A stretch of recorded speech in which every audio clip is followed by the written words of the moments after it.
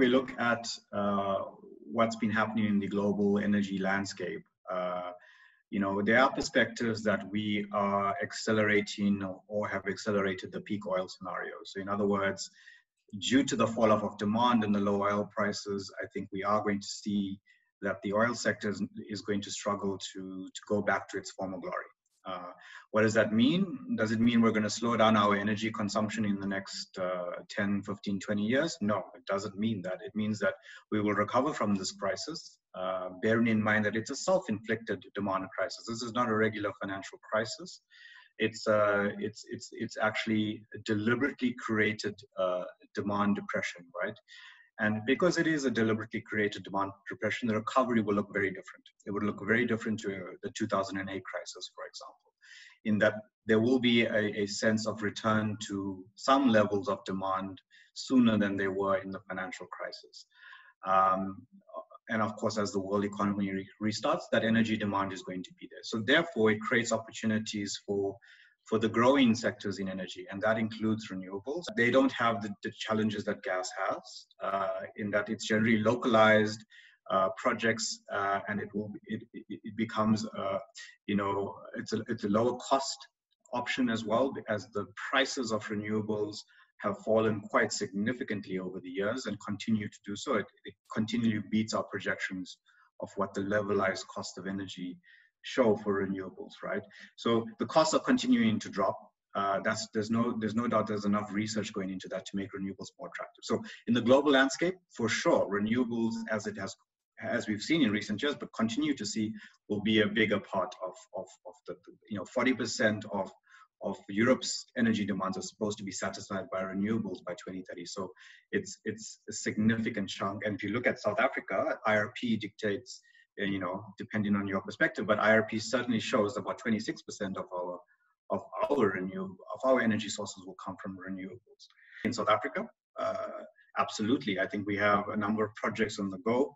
Um, and since government had made it, you know, made some given some clarity to the sector at the beginning of the year, suggesting that you know manufacturers, mining, uh, and, and, many other parts of the economy can start to, uh, municipalities can start to source independent power, uh, that does open up, uh, you know, opportunities uh, for, for renewables to create stable supply.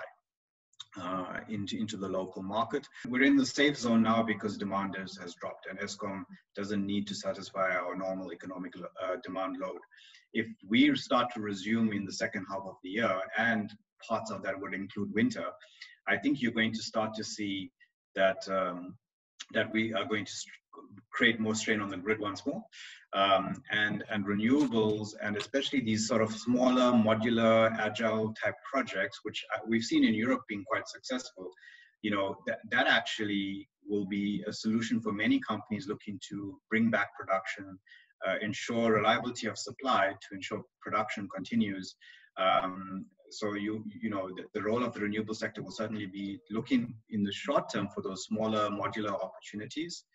Uh, you know, it's not going to be the, the big projects probably, uh, but probably you know on the distribution generation generation side, uh, lots of lots of small projects. Working with industry probably also to, to start to increase the installed base of, of self generation. Liquidity is going to be one of those challenges, but I think most most you know sort of financiers or investments in the space in renewables particularly are not going to take that short-term view. So they're not going to look at it and go you know because of covid in the next six months or the next 12 months we're going to struggle and therefore not not invest in renewables. I think the reality is that there's more demand for renewables than there's ever been globally um, and and that is not changing. So and that's not going to change. So, so, so, you know, there's probably still enough in that to say that it's worth, there'll be more appetite for that, let's say, than coal or oil. Renewables is here for the medium and long term. It's going to be, it's already decided. It is, the, it's the way forward. And it is an opportunity to support the sector in growing it because it's going to be there for the long term. Um, and it is going to be able to support the energy demands for South Africa in the short to medium term as well. We need to balance the portfolio. And right now, with the low declining costs in renewables, uh, and with the opportunities we have, we, we certainly have to harness it and invest in it now. So enable the sector, uh, you know, and and and um, support the sector in trying to actually create this modular, flexible thinking so that we can scale up to the the, the support we need in energy.